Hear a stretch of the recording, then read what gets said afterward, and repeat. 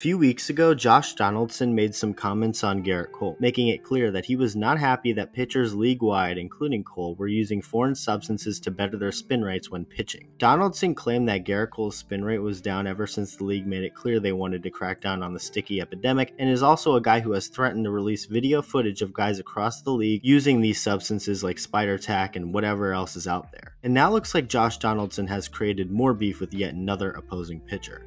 Take a second to like this video, and if you're new to the channel and end up enjoying this video, be sure to hit that subscribe button for future baseball content. Lucas Giolito has had a pretty good year, all things considered, throwing over 93 innings and pitching his way to an ERA of 3.84, striking out 111 hitters. Giolito is certainly someone who used spider tack or some kind of sticky foreign substance to help better his spin rate. It's not a huge deal, of course, because frankly everyone was doing it but he still cheated, and Josh Donaldson is happy that guys like him can no longer use the sticky tack. He showed it on Tuesday night in Chicago.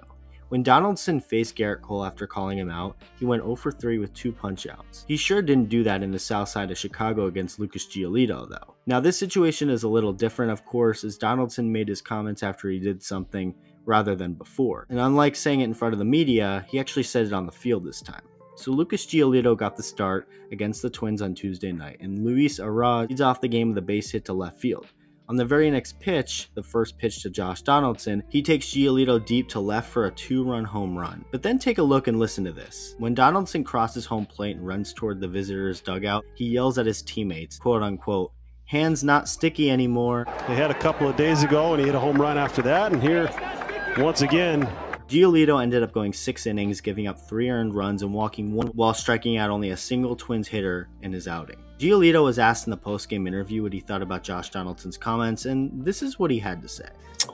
He's a pest.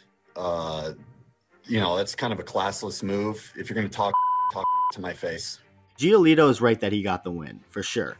That's true, but he also did punch out only one Twins hitter in his outing, and his average spin rate on the night was down from the seasonal average. According to StatCast, Giolito saw minus 175 RPMs on his fastball and minus 185 RPMs on the slider. Josh Donaldson is calling out pitchers left and right, starting beef, and is seemingly having fun with it. Things could get interesting the rest of the way when Donaldson faces the White Sox, so stay tuned. Let me know what you think about this, and thank you for watching.